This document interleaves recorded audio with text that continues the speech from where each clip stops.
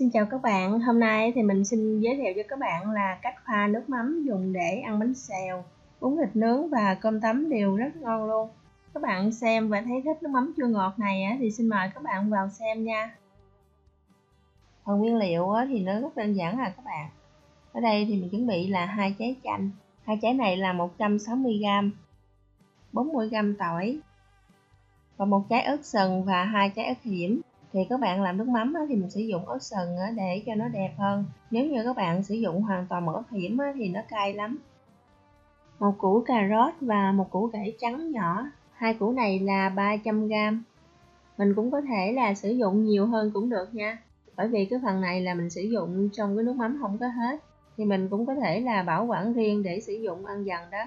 150g đường cát và 250ml nước mắm ở đây mình sử dụng là cái nước mắm ba con cua cái loại này nó cũng rẻ tiền à các bạn. Và sau cùng là 400ml nước lọc. Ở đây là mình sử dụng cái lượng nước cho nó nhiều hơn là cái lượng nước mắm. Bởi vì mình dùng chung với bánh xèo, bún thịt nướng hoặc là bún xào. Thì mình dùng cái loại nước mắm này thì ăn nó sẽ hợp hơn nha. Rồi vậy là mình sẽ bào củ cải trước.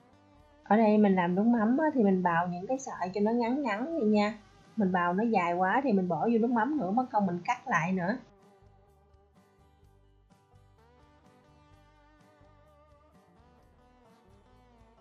Rồi, cái phần này mình bào xong rồi. Bây giờ mình sẽ cho là một ít muối và một ít đường vào đây.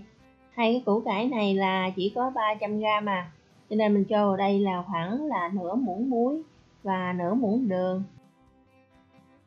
rồi mình trộn cho nó đều lên để cho cái phần này nó ra bớt cái nước á.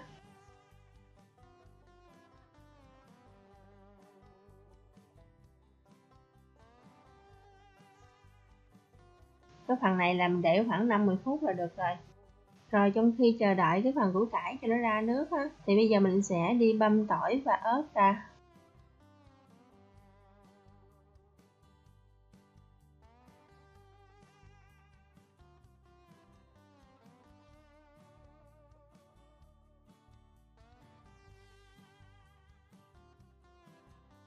Do có hai trái ớt hiểm á, cho nên mình mang bao tay vô nè để cho nó đỡ nóng tay của mình đó. Rồi bây giờ chanh mình sẽ cắt ra mình vắt lấy nước. Mình bỏ cái cùi chanh nha. Những cái tét chanh mà nó rớt xuống thì mình dùng luôn.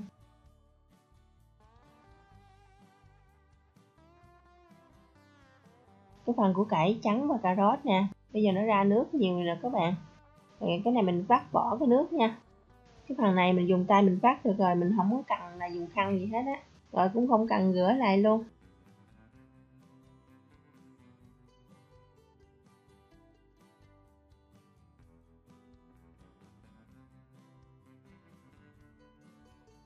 Bốn trăm ml nước lọc á.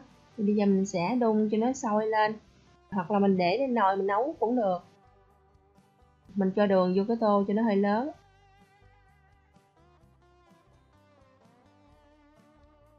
Rồi mình cho 400ml nước sôi á, mình đổ vô đây cho đường nó nhanh tan.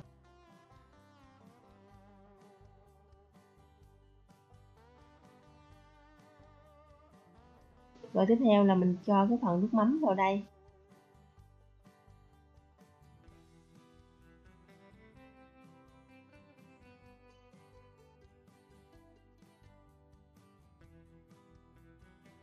Rồi cái phần này các bạn chờ cho nó nguội hẳn đi, rồi mình mới cho là phần tỏi ớt vào đây.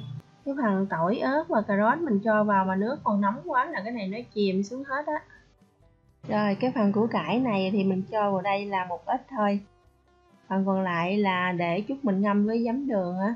Mình để dành sử dụng cho lần sau, hoặc là mình dùng chung với cơm chiên á thì cũng rất ngon luôn. Tỏi ớt giả nhuyễn á thì mình cho vào đây hết.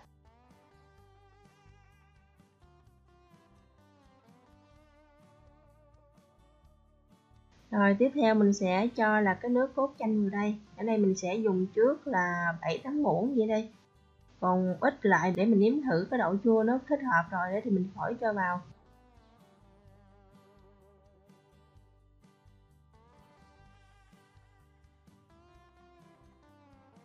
Mình nếm thì cái độ ăn nó cũng vừa ăn lắm rồi cái phần nước mắm này thì rất là hợp với là cơm tấm bún thịt nướng, thịt xào. Và đặc biệt là dùng với bánh xèo thì ăn rất là ngon.